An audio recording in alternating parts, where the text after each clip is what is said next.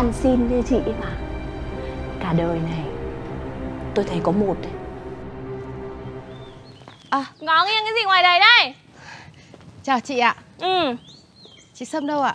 Tót lên xe về quê rồi. Chả biết là về quê đi với dai cứ điện thoại tinh tinh một cái là tót đi về luôn. Mà hỏi sâm có việc gì đấy? Dạ chả là tôi thấy nhà có giúp việc Mà chị lại phải đích thân ra mở cửa.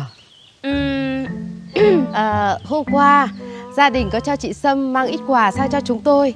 Nên là hôm nay tôi cũng mạo muội có chút quà quê Mang sang biếu cụ và anh chị ạ. Ừm, nhầm rồi. Nhầm đấy ạ. Chị Sâm cho tôi đúng địa chỉ này mà. Khổ địa chỉ thì đúng. Nhưng mà người ấy thì nhầm.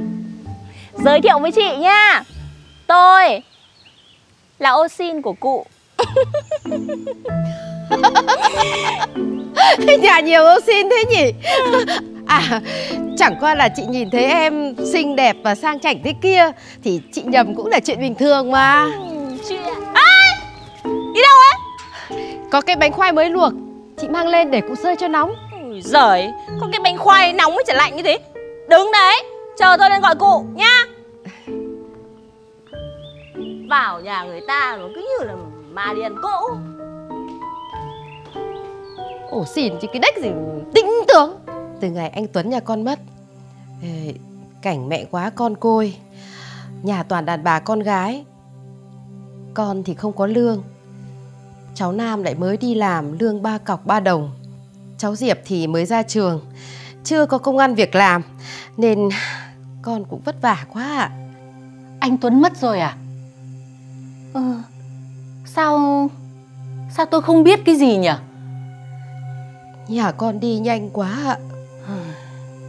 Khổ thân. Anh ấy sốc vác chăm chỉ là thế cơ mà. Hôm qua Quà của gia đình mang sang. Mẹ con con ăn như chết đói. Cả đời có được ăn cái của ngon vật lạ như thế bao giờ đâu. Sao lại khổ thế nhỉ? Này Tôi cho về mà lo việc nhà. Ôi Sao cụ lại cho con tiền ạ? Con không dám nhận đâu. Tôi đã cho thì cứ cầm lấy. Cũng coi như là tiền phúng viếng anh Tuấn thôi. Con cảm ơn bà. Thì tự nhiên có một cái con ăn xin đến ngồi mãi chẳng chịu về. Thế là em cũng phải chờ này. Thôi đừng có dỗi người ta tí nữa người ta đến nhá.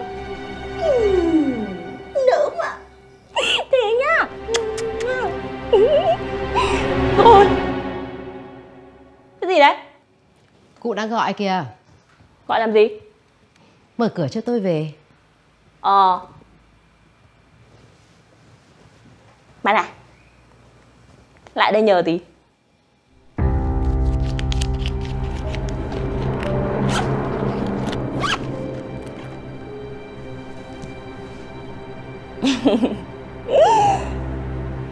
ăn xin như chị mà cả đời này, tôi thấy có một đấy.